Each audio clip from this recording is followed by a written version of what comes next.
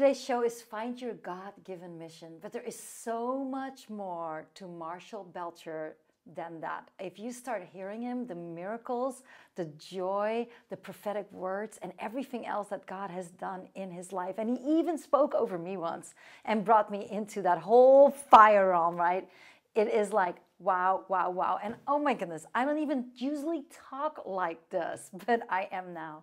I just tell you, when you get more of God and you get more of the fire of the Holy Spirit, you can't help it but there is joy, there's transformation, and you will step into that incredible mission that God called you in today. So, with that said, Marshall, welcome to the show. Thanks so much.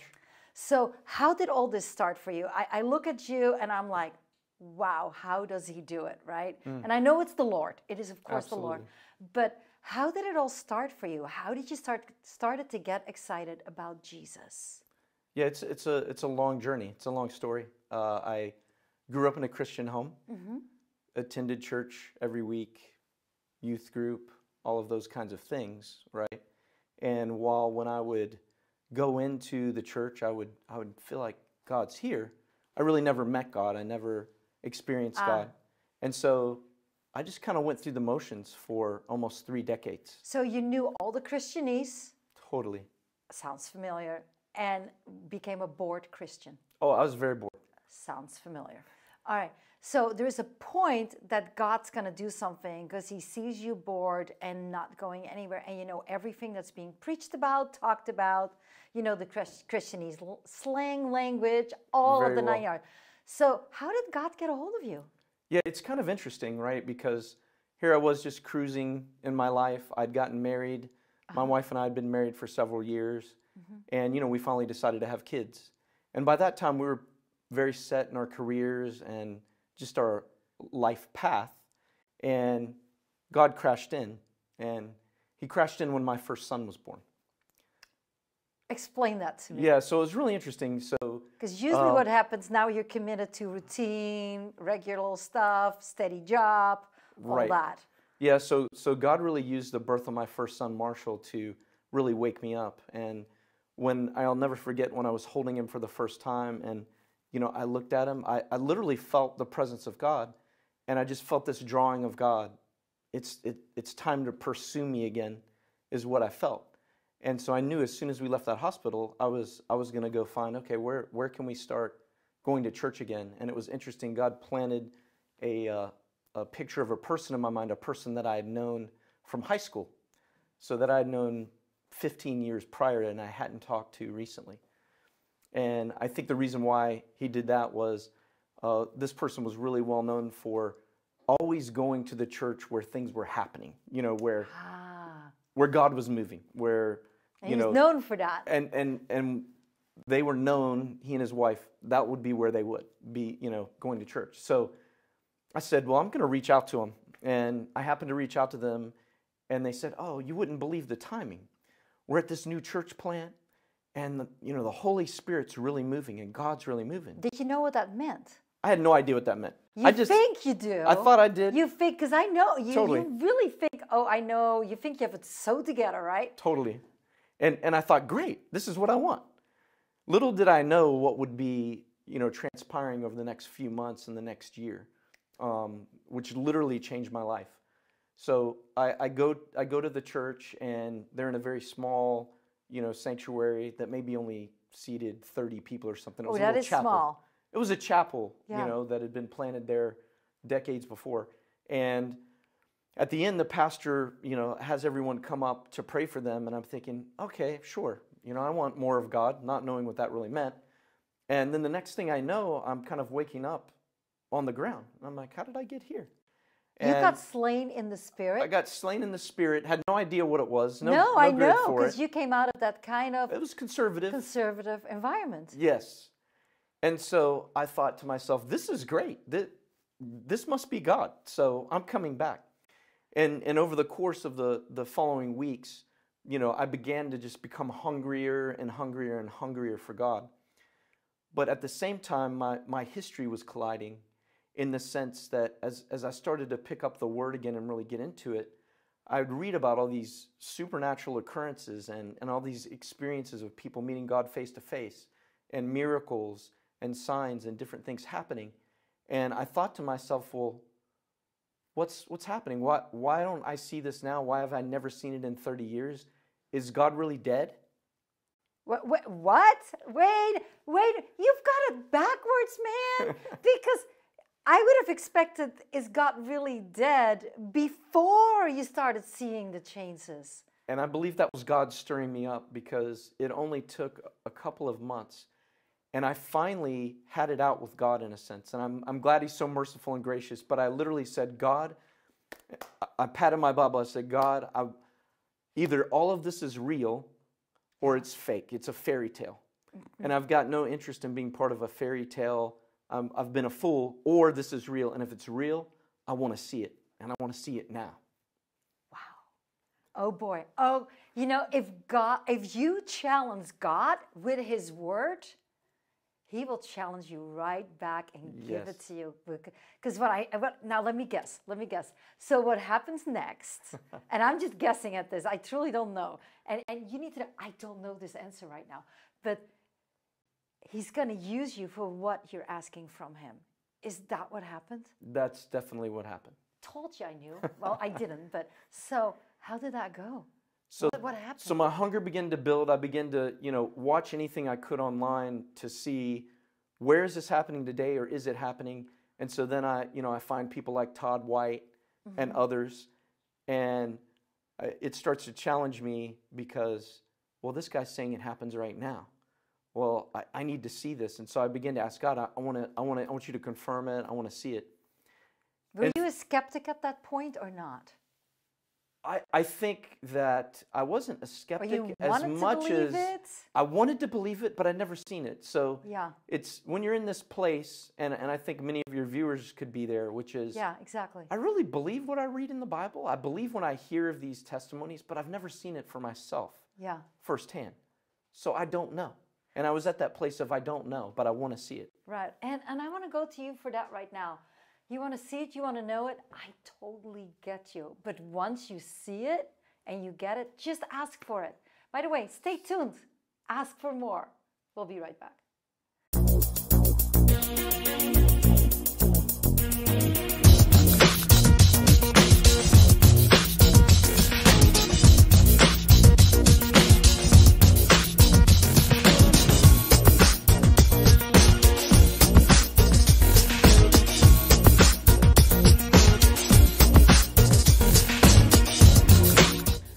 TV is all about you getting the needs met that you have. Satan wants to steal, kill, and destroy your life, but Jesus wants to give you the abundant life. How do we do that? We have guests with stories, and God wants to do the stories again in your life. He wants to change your life, He wants to improve your life, and He wants you to have all the benefits.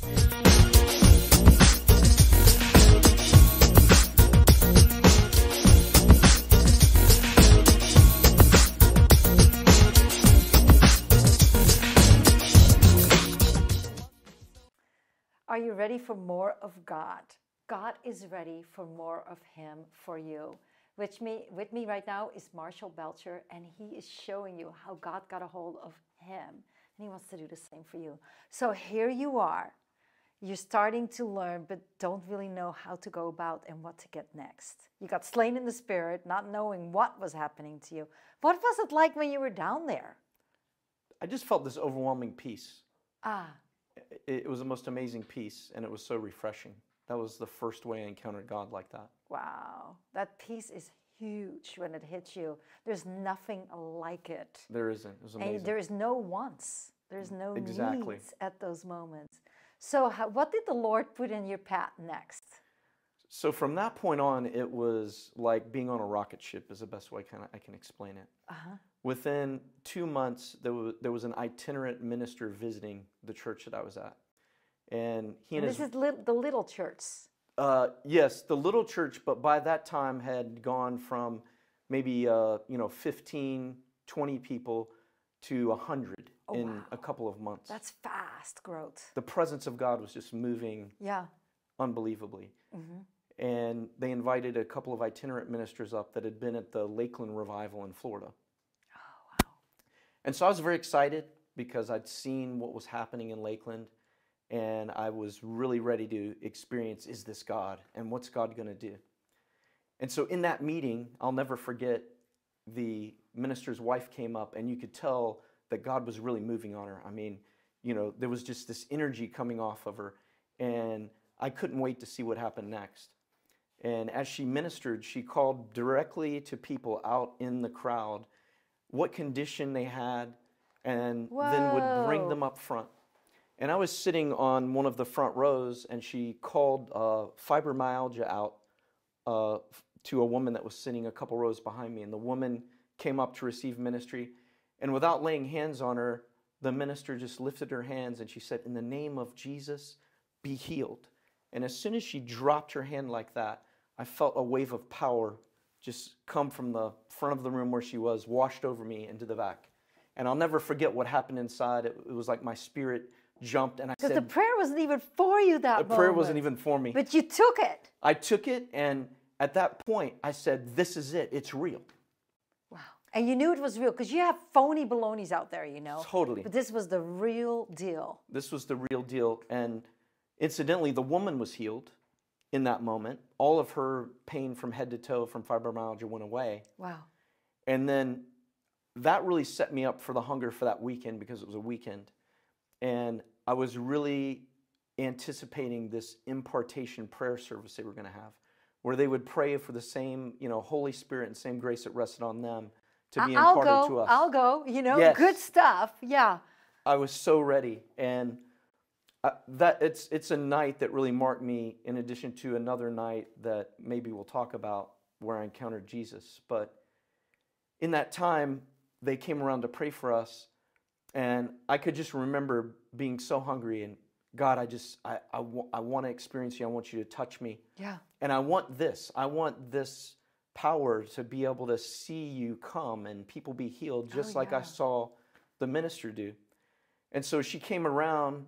I'll never forget when she got to me. I, I felt like the presence of this energy before she even came close to me. And I knew it was a presence of God. Wow. And what then- was that like? It, it, it was electrifying, really.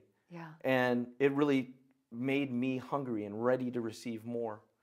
So as soon as she put her hand on my shoulder and one hand on my stomach, and the reason why I remember that so well was because as soon as she touched my shoulder and touched my stomach, I felt a bolt of electricity come down her hand and out of her hand in my stomach, and it went up my body and down my body. And literally, electricity just went from head to toe. And as soon as it hit my knees, I, I couldn't stand anymore. And, you know, I, I went down to the ground. She followed me down to the ground and she continued to pray. And I, and I felt like I was being electrocuted by God. Whoa. Eh. That's almost getting out of hand now. It was, but I loved every minute of it. and uh, it, it made me even hungrier for more. Yeah. Uh, in fact, I stood back up after she made her rounds. Pray for me again. Wow, wow. Yeah.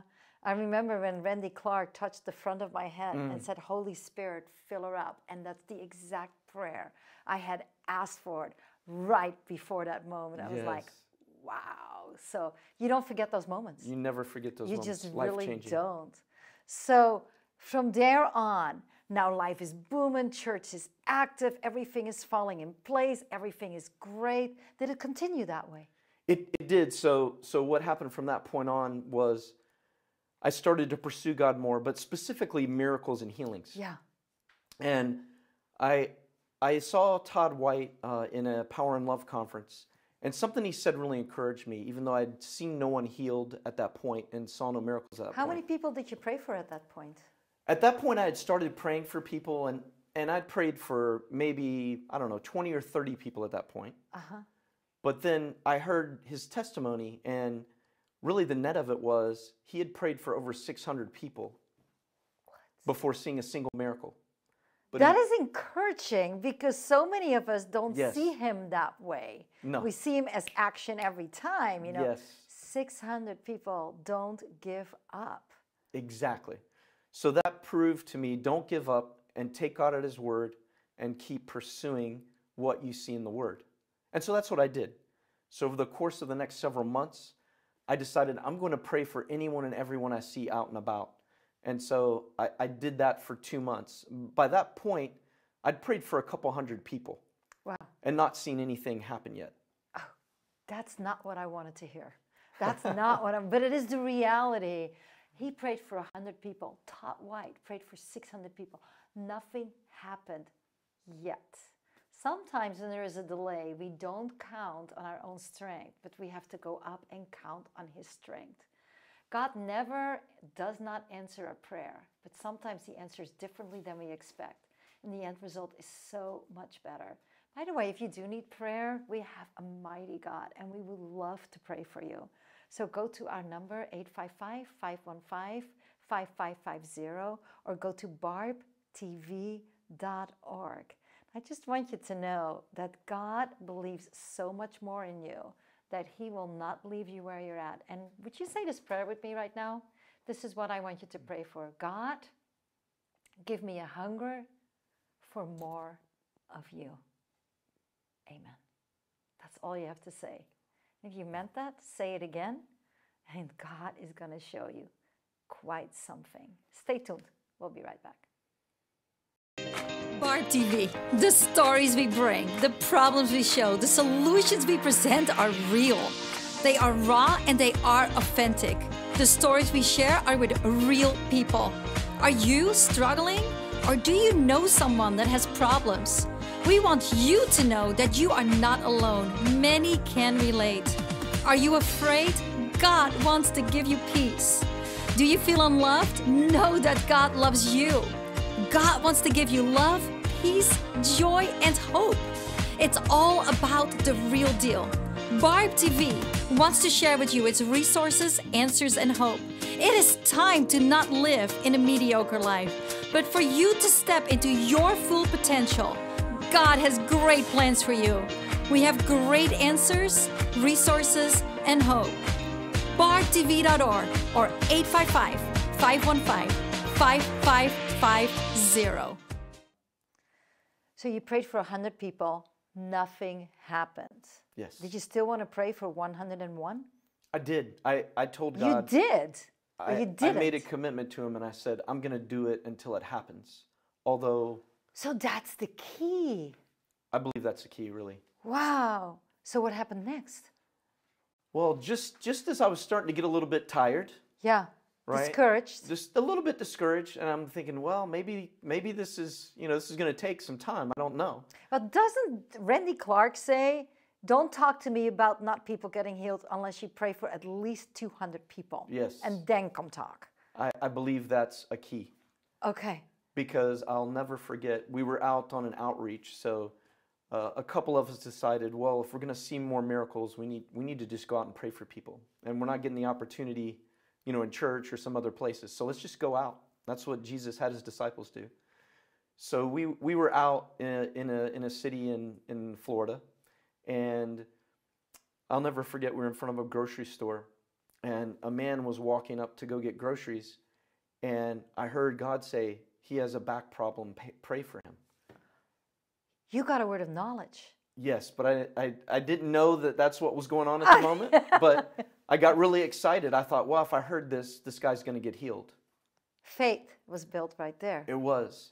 And so I, I just introduced myself and I said, hey, I'm, I'm out practicing hearing from God and watching Him heal people. Even though I'd never seen anybody healed yet. But it was accurate. but it was accurate. Right. And so uh, I said, "D- do, by chance, do you have any sort of back problem? And he said, yes, I, I do. And I said, can I pray for you? Said, yes, I'd love that. And at the same time, I felt like I should grow his legs out.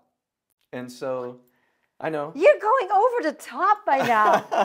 Okay. I got an impression that one of his legs was shorter than the other. And when I Uh-huh. did that, his back would be healed. Uh huh. And so I just went with what I felt like God was doing. And I had him sit down in a, in a bench that was right at the grocery store. And his, sure enough, one of his legs was about an inch shorter than the other one. Wow. And as I prayed for him, you could see this relief come on his face. Oh, yeah. And then he said, My back's healed. I have no pain.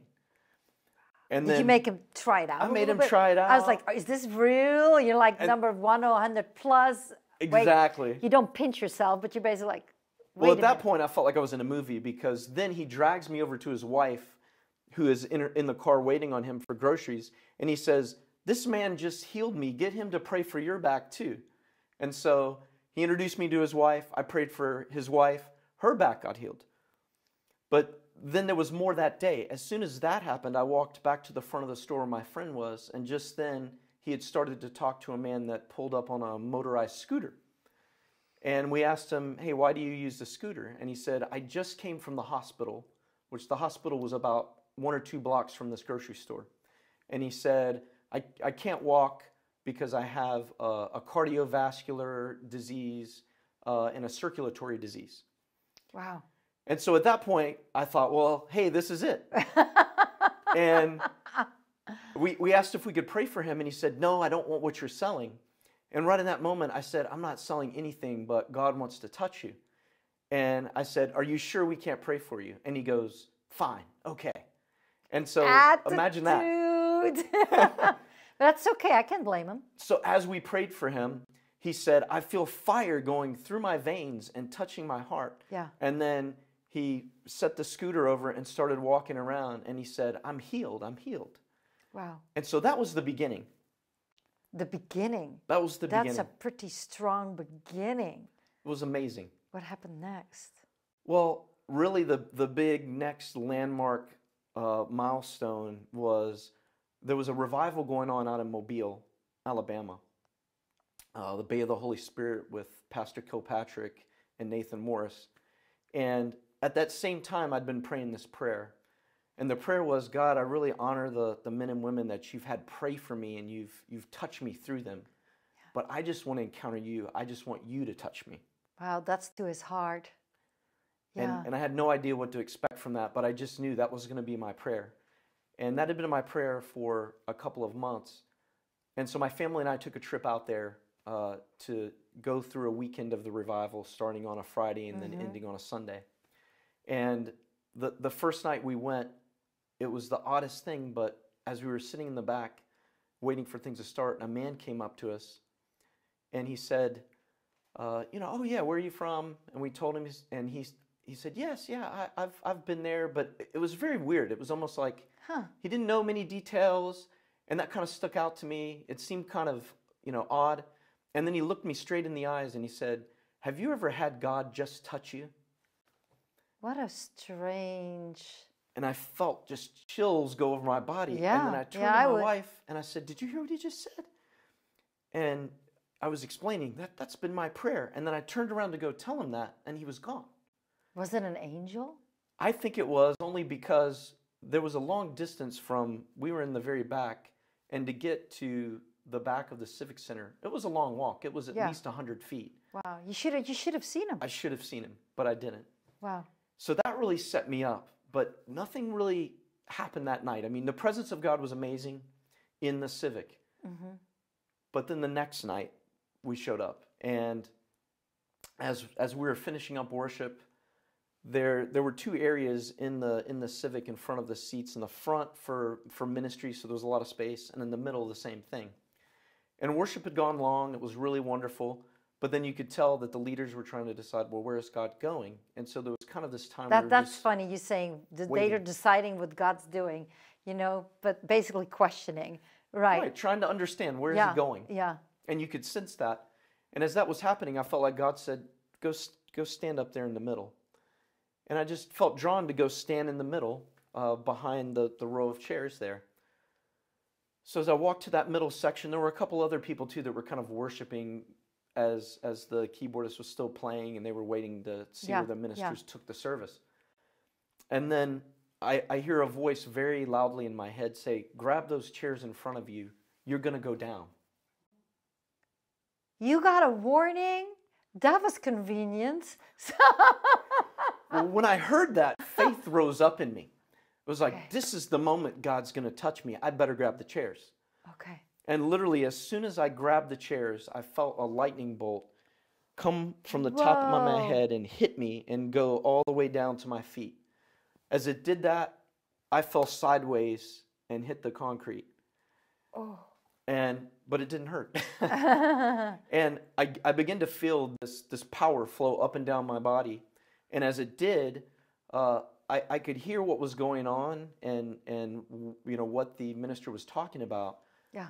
and as I heard that, I heard him say, That's it. And he began to talk about John the Baptist saying, There's one coming who's mightier than I, whose sandals I'm not worthy to tie. Jesus.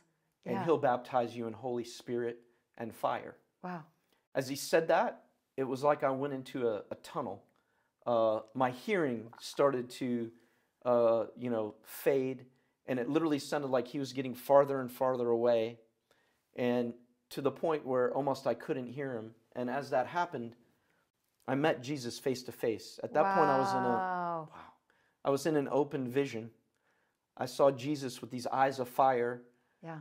uh, and, and his overwhelming love welcoming me into this encounter. What did that do to you? We have like a minute left. So, what did that do to you?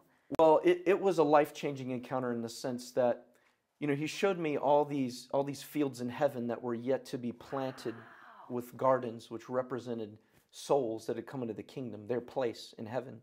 And he said, "Will you will you plant these fields, these gardens with me?" And of course, I said yes. Oh, yeah. And as I came out of that encounter, because at that point they were doing ministry and it just became overwhelming, the power of God that was on me, the power of God on the ministers, I kind of came out of the encounter surprised.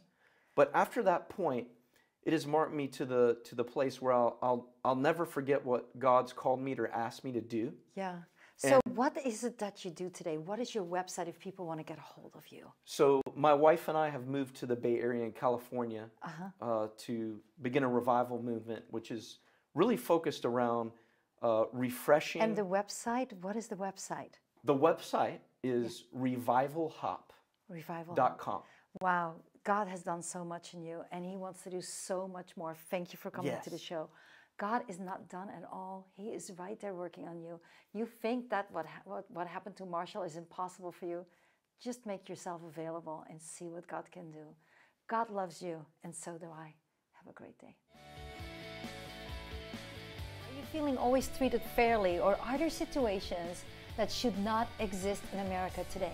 What would you do if the FBI picked you up? What would you do if you would be falsely accused while you're trying to report a crime? wrong. I know I haven't done anything wrong. I know that I'm innocent. And he said, Well, we need your help. And I said, Okay, I'm willing to give you my help, but I'm not willing to testify against myself. Yeah, was there a warrant for them to break in like that? No. Nothing. No. How threatening. Yep. Did they take you? Oh, yeah.